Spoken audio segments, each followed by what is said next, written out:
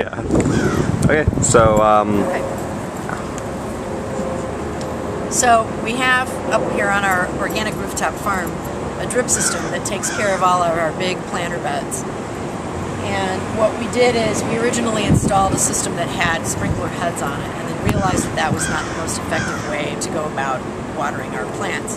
So we switched over to drip irrigation, which are tubes that have little tiny holes in them all over the place.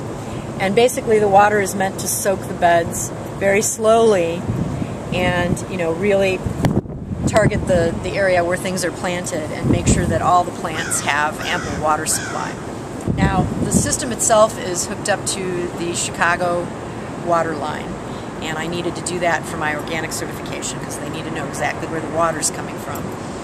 And uh, what we have set up here is four different zones on our roof that we can control with timers.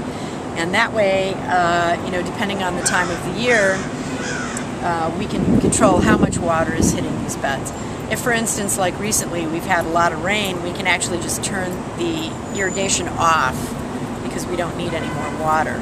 Um, and then during really hot, dry spells, we can we can increase the time period that it's watered, or we can add more short time periods to just keep uh, a constant level of moisture and coolness to the beds.